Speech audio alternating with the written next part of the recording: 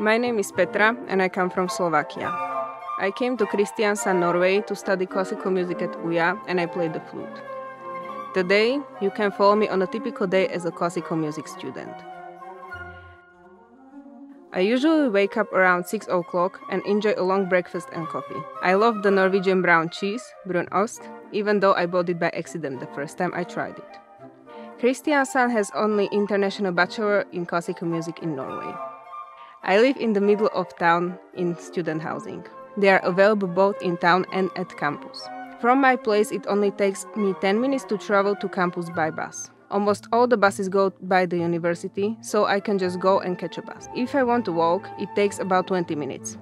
I can walk or ride the bike anywhere in the city. Norwegians are really friendly and they all speak English, which makes it easy to find your way around.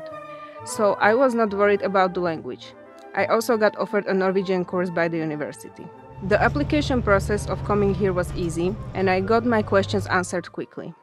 Since Slovakia is member of the European Union, I didn't have to pay any deposit to come here. The only thing I paid was for translation of application documents and the semester fee, which makes it almost completely free to get education in Norway. And on top of that, I get to work in fantastic facilities and with top level teachers.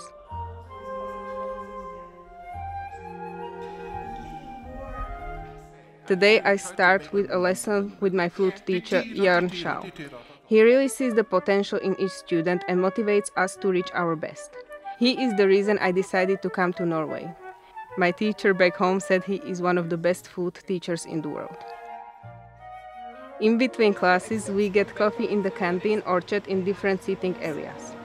The canteen has been voted the best in Norway, by the way.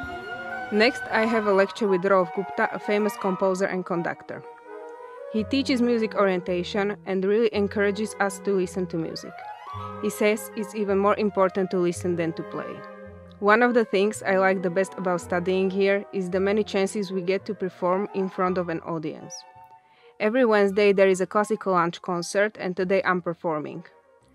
I often come to watch my fellow students perform, and it's magical experience with atmospheric lighting, beautiful music, and serving of free waffles and coffee or tea.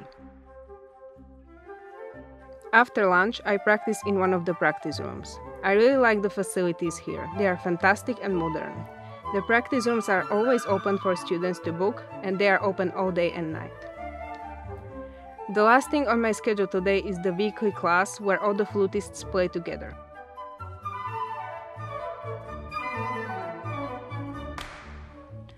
After school, there are several students' activities I can engage in. International Office arranges get togethers, trips, and weekly waffle meetings. Now you're probably thinking that Norwegians eat waffles all the time, which isn't too far from the truth. I can also go to the global lunch to talk with other international students. It can be really nice to talk to somebody in the same situation. I try to do some sort of activity every day, whether it's working out at the gym close to the school, or take a hike in beautiful surroundings, which is only a couple of minutes away. The nature is so breathtakingly beautiful here. Kristiansand is known for its vibrant culture life and has thousands of concerts, performances, festivals, exhibitions, etc. each year.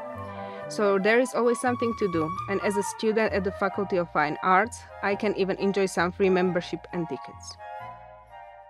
As a classical music student, we have a close cooperation with Kilden, which is one of the largest concert halls in Norway.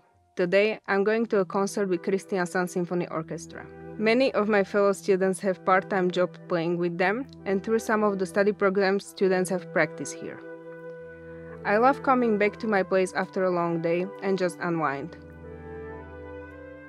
I always feel thankful for yet another fantastic day where I have learned something new and had good memories with my fellow students.